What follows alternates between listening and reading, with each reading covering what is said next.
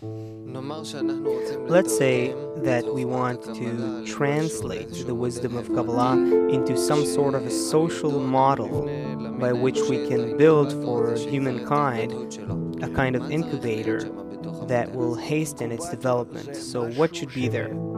This incubator is something that is similar to humanity and is advancing along with humanity gradually to the extent that humanity can advance. Meaning, I need to address all the different corruptions and flaws in humanity and just give them a little bit of upgrade from all their TV shows and their news, what they engage in and play with.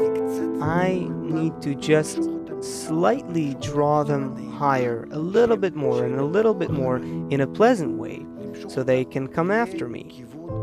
I need to draw them towards the goal, but my incubator has to be so multifaceted, like the entire creation, where everyone has a place. It's like a, a baby in the hands of his mother. Everyone has to feel like that, that he can enter there and that's it. I don't want to leave. And that's the kind of work that we should do. It is the work of adaptation.